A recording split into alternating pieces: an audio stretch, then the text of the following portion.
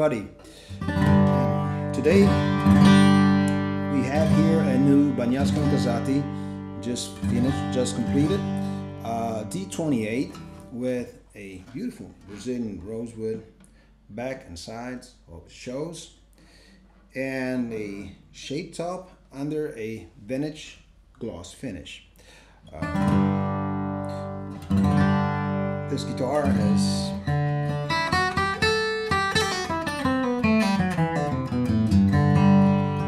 things that we like about D28s fat and juicy and it's got lots of power and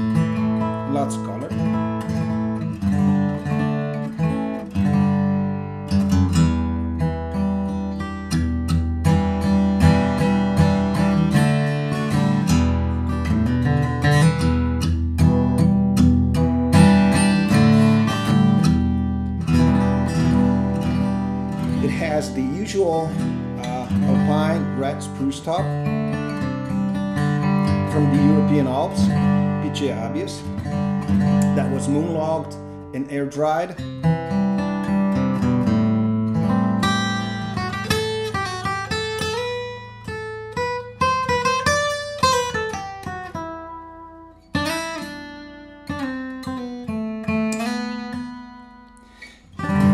Ask this makes a difference, yes, it does make a difference, in our opinion.